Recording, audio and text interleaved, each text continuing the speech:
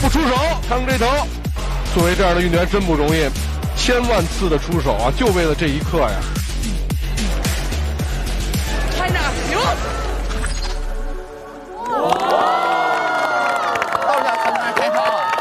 那天我正好在参加奥运直播，直播就转到了巩立姣老师的比赛，然后她得了金牌。今天我都没有想到能够见到本人，好神奇的一个感觉啊！大家好，我是体能，等一下啊。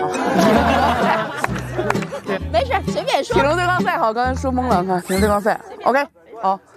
大家好，我是体能对抗赛的特邀教练巩立姣，很高兴，很高兴在超星运动会和大家见面，谢谢。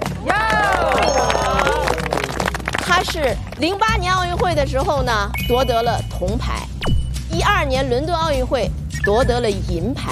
我越来越好。然后到了一六年里约奥运会，又下到了第四名，但是不放弃。这次奥运会夺了冠军，太厉害了！运动吧，就是应该是较真儿的，没有一个奖牌是靠幸运的。所以说，只要你们朝着目标勇敢向前，我相信你们会得到自己想要的结果。大家加油！瑜伽！老师一直坚持这种精神，是值得每一个人去学习的。四届奥运会，时隔十二年，也为了这个最好的成绩，他一直在这个路上，我非常有感触的。所以。